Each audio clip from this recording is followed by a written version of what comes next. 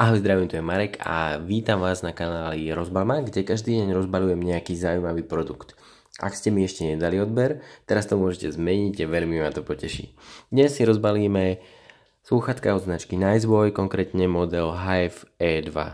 Čiže vám ukážem, čo sa nachádza vo vnútri v krabičke, ale ak by ste chceli získať viac informácií o týchto slúchatkách, tak link vám dávam dole do popisu videa. Poďme rozbalovať.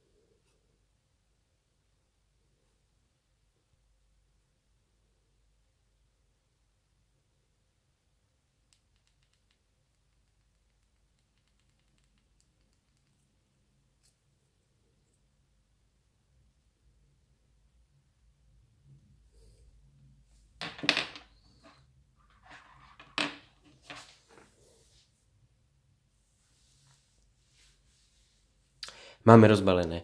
Ak sa vám toto video páčilo, tak pomôžte tomuto kanálu rásť a vidíme sa pri ďalšej rozbalovačke.